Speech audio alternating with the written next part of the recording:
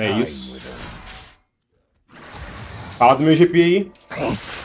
Quem que falou merda? Tomou barra 7, mas eu não tô morto não, pô.